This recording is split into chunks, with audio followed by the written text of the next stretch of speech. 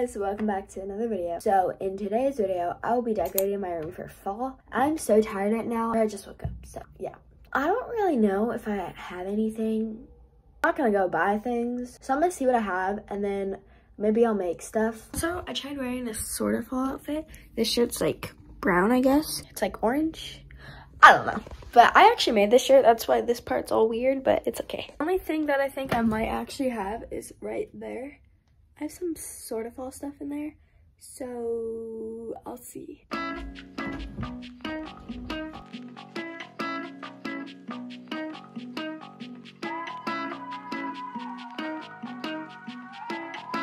That's the only fall stuff that I have. I'm gonna decorate with that and then add more. This is a pencil case that I got at Michael's. I have many of these actually. And I just painted for all the different seasons. Christmas, Halloween, beach. That was like my old theme room, beach, um, Easter. So I'm gonna put this side facing forward. The real fall decor that I actually have are just these pumpkins. So I'm gonna find a place to put them.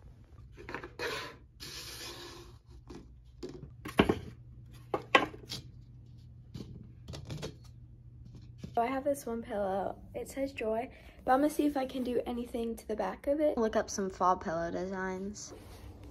So what I did is I mixed paint, I mixed this and that, and then I just wrote it on here. Obviously it looks so bad. I didn't even think about the bottom lines.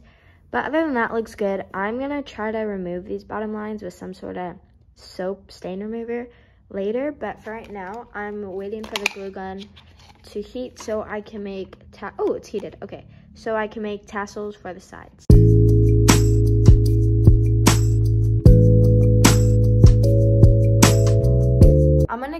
It and then I will be back. So I ended up finishing it, but it took me a really long time. I scrubbed it and then it wasn't coming off. So I just scrubbed it all off and then I restarted, but here it is.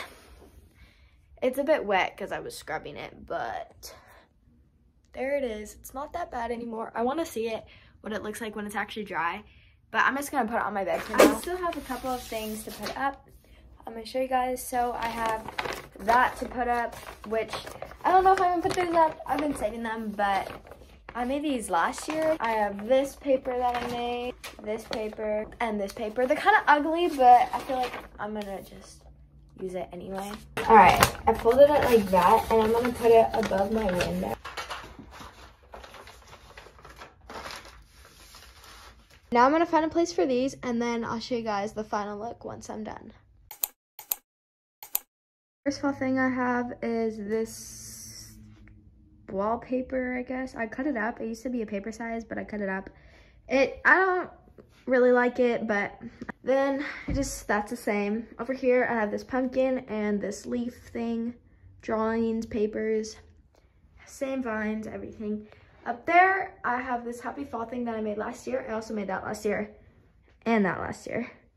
But then, yeah, down here, I just have two pumpkins that my grandma gave me last year. To the side, I have pumpkin, fall candle, and then I have this pencil case that, that I made one year ago. Then on my bed, I have this blanket that I have all year round. It really just matches with every single season, and it's so comfy and so cute. Then I have my pillow that I made. Um, it needs to dry. I don't know how I feel about it, but it's okay. Then I have this fluffy pillow that I also have all year round. And my two regular bed sheets. Down here, same. And yeah, that's the room.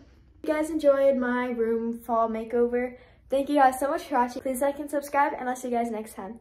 Bye!